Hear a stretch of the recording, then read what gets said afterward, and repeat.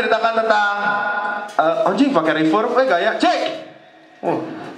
Ini cerita tentang PKL-PKL di jalanan yang katanya digusur. Ini juga tentang keresahan si Asdi. Ke- karena kebenaran dia kan dia lama tinggal di jalan. eh, anjing, bo halus eh pakai reverb suara orang. Hah. Jadi keresahan beliau terhadap PKL-PKL di jalan yang katanya digusur, eh, dibikin tempat baru buat mereka berjualan. Dia ini merasa anjir hal itu nggak relevan nih buat gua gitu. Jadi yang ini judulnya apa ya Bia?